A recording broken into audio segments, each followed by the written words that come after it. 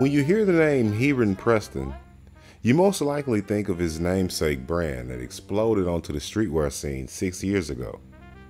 But did you know that along with Virgil Abloh and Matthew Williams, Heron Preston has helped to modernize the entire streetwear and fashion genre?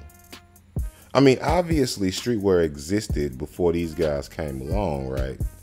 And there were tons of brands doing their thing once they hit the scene.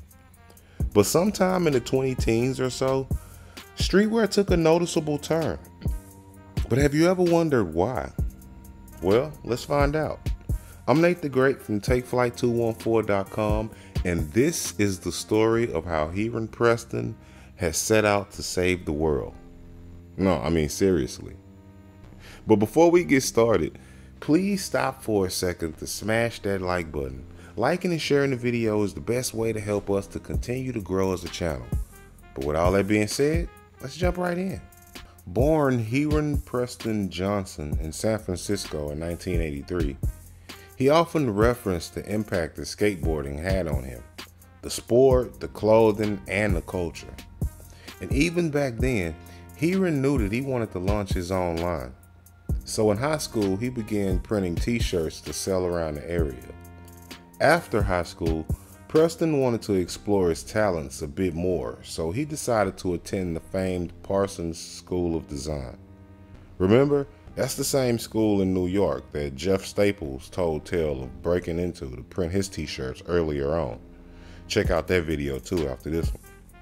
But having moved all the way across the country and not yet having a friend base out east, Heron started a blog where he documented the culture as he took it in in the Big Apple. He also had a passion for photography, a hobby that he had picked up from his dad, and this combined with his eye for fashion caused his blog to take off pretty fast. Through his blog, he managed to link with fellow designer, DJ, and creative consultant Virgil Abloh, who was a contributor to another blog called The Brilliance. Not to mention, he eventually landed a job at Nike as a marketing specialist and social media director. One thing was for certain Heron had a knack for making key connections. I mean, I gotta admit it, my boy's network game was on point. But years passed with Heron working at Nike when one day Virgil called him up again. Virgil had spent the last few years working as creative director for a young Kanye West. And they were fresh off the Watch the Throne tour and were now throwing parties on the side. Virgil had reached out to Heron knowing that he too DJ'd and wanted him to join in on this new endeavor that both Virgil and Matthew Williams had. A series of events known as Been Trill. From parties, they soon branched out into clothing and developed an app that allowed users to put the Been Trill logo over their own photos. They also opened a pop up shop on Canal Street.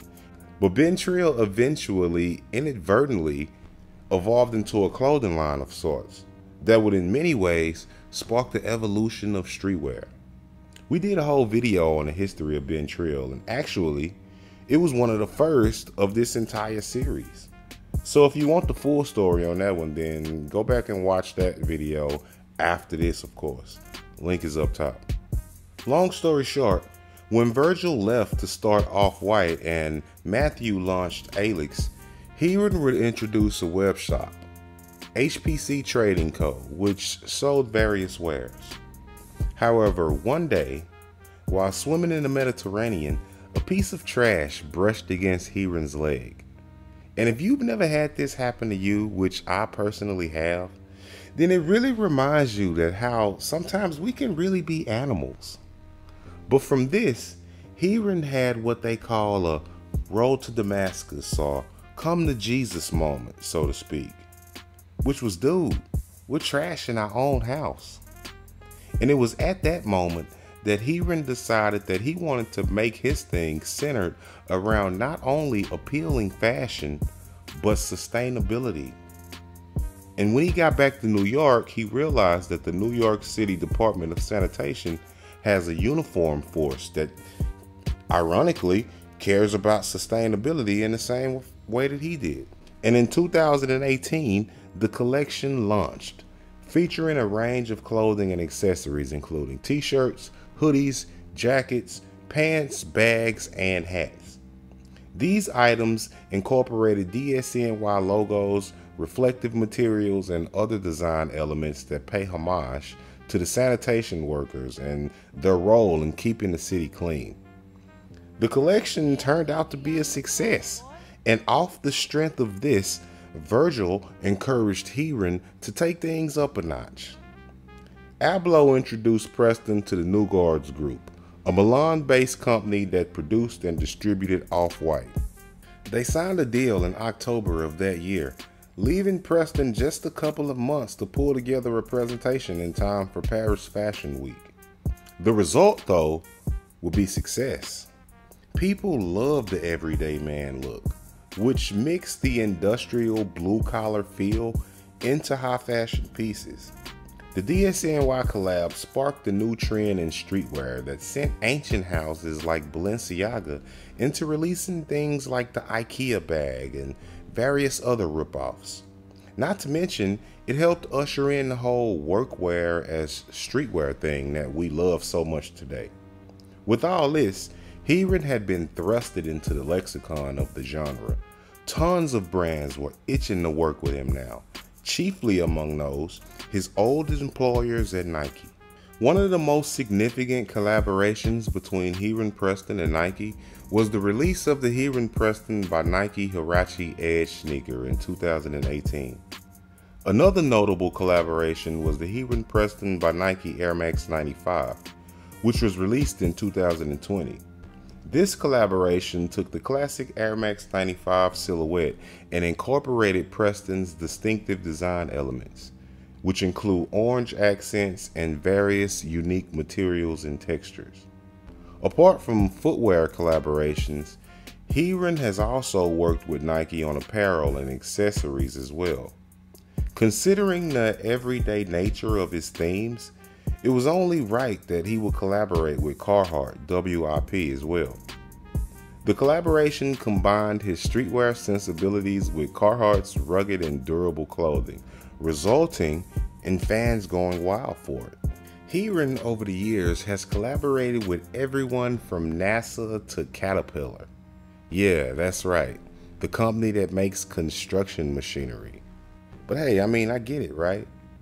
But all told, the journey of Heron Preston has been just as influential as Virgil's, at least in my opinion, and albeit more quiet.